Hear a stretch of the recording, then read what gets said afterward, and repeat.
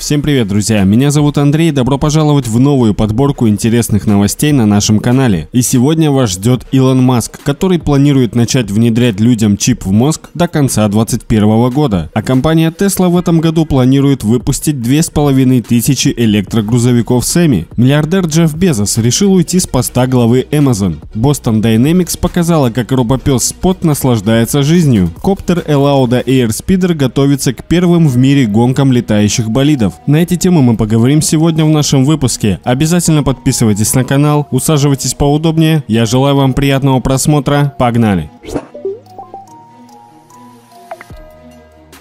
Стало известно, что компания Neuralink планирует в этом году приступить к испытаниям на людях своего имплантируемого в голову устройства. Об этом заявил глава компании Илон Маск, отвечая на вопрос одного из пользователей сети Twitter. Ранее он также сообщил, что специалисты компании сумели имплантировать прототип устройства Neuralink обезьяне, благодаря чему она научилась управлять объектами в компьютерной игре при помощи нейронных импульсов. Neuralink прилагает все усилия, чтобы обеспечить безопасность имплантов, и находится в тесном контакте с FDA, Управлением по санитарному надзору за качеством пищевых продуктов и медикаментов. Если все пойдет хорошо, мы сможем провести первые испытания на людях в конце этого года, заявил Маск в ответ на сообщение пользователя, который предложил свою кандидатуру для проведения клинических испытаний импланта. Напомню, что основанная Илоном Маском компания Neuralink занимается разработкой имплантируемого в голову устройства, делающего возможным преобразование нейронных импульсов в команды, понятны компьютеру и другим частям нервной системы организма. На начальном этапе в тестировании прототипов импланта участвовали свиньи, после чего устройство имплантировали обезьяне, а в дальнейшем к этому процессу будут привлечены люди.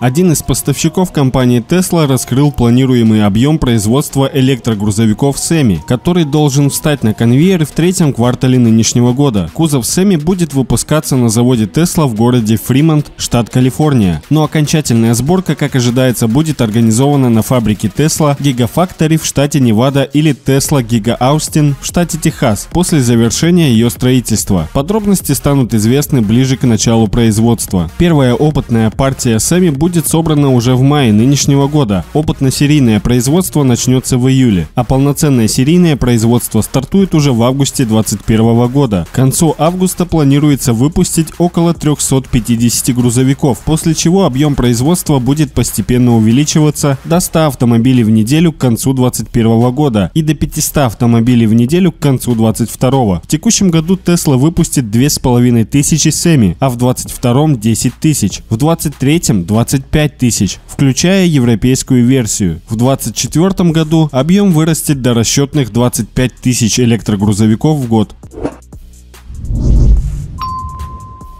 Основатель американского интернет-ритейлера Amazon Джефф Безос заявил, что покинет пост генерального директора компании до конца 2021 года. Формально он отойдет от прямого операционного управления, но по факту сохранит контроль над одним из своих основных активов в новой должности исполнительного председателя, которую, как пишут западные СМИ, Безос фактически создал под себя. На посту SEO Джеффа Безоса сменит нынешний гендиректор подразделения AWS Энди Яси. В своем обращении к сотрудникам Amazon Amazon основатель объяснил свой уход с поста SEO желанием уделять больше времени своей аэрокосмической компании Blue Origin и другим проектам, включая The Day One Fund, Bezos Earth Fund, The Washington Post, а также прочим увлечениям. Рискнем предположить, что именно Blue Origin должна больше остальных выиграть от этого решения. Одновременно Безос подчеркнул, что это не отставка в привычном понимании. На посту исполнительного председателя я продолжу участвовать в принятии решений по ключевым инициативам Amazon Amazon, но при этом у меня появится больше времени для других проектов. Еще никогда я не чувствовал такой прилив энергии и сил, как сейчас, и это вовсе не отставка. Я супер воодушевлен тем, какое влияние на мир могут оказать эти организации. Безос объявил о своей фактически технической отставке с поста SEO одновременно с публикацией финансового отчета Amazon. В 2020 году интернет-ритейлер нарастил выручку на 38% до 386 миллиардов долларов.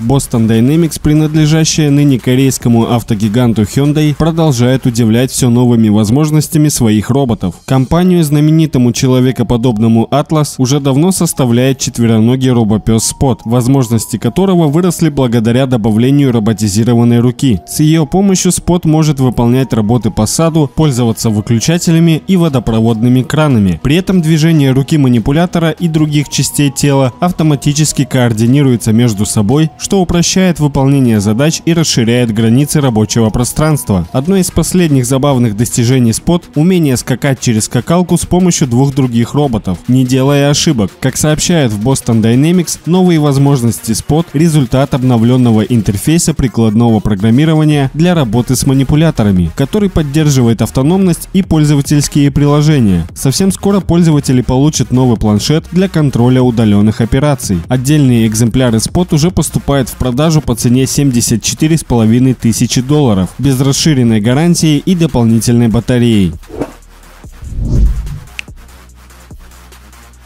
Впервые компания Elauda Aeronautics сообщила о намерении создать серию летающих гоночных электромобилей более трех лет назад. В результате была создана и представлена действующая модель скоростного электромобиля Airspeeder MK3. В 2021 году предполагается участие MK3 в реальных гонках, где конкуренцию ему составит еще 10 аналогичных летающих электромобилей от Elauda Aeronautics. Гонки станут своеобразным испытательным полигоном, дающим возможность специалистам компании получить необходимую информацию о динамике транспортных средств, производительности и возможностях технологии. В дальнейшем благодаря этим данным будут усовершенствован дизайн и технические характеристики летательного аппарата, что критически важно будущим пилотам-гонщикам МК-4. Однако первое время машины будут управляться дистанционно. МК-3 чем-то напоминает гоночные болиды Формулы-1 60-летней давности. Он оснащен облегченной прочной и жесткой рамой и обтекаемым фюзеляжем. Общий вес аппарата без пилота составляет 100 килограммов. Ожидается, что 96-киловаттный электродвигатель сможет обеспечить машине скорость в 120 км в час, а X-образная схема расположения 8 несущих винтов – возможность совершать крутые виражи, как на Формуле 1. Ограниченные возможности источников питания предполагается компенсировать с помощью технологии быстрой замены батареи. В компании надеются, что первый пилотируемый болид Airspeed MK4 увидит свет уже в будущем году. Его расчетная максимальная скорость скорость возрастет до 160 км в час, а до сотки он сможет разгоняться, затратив чуть более 2 секунд. В воздухе он сможет находиться порядка 20 минут на высоте 60 метров. От столкновений на воздушной гоночной трассе его уберегут 8 камер и 22 датчика, включая лидер, радар и высотометр. Даты гонок Airspeed MK3 еще неизвестны, однако уже в ближайшие дни в команды соперники прибудут 10 пилотов-гонщиков примерно одного класса.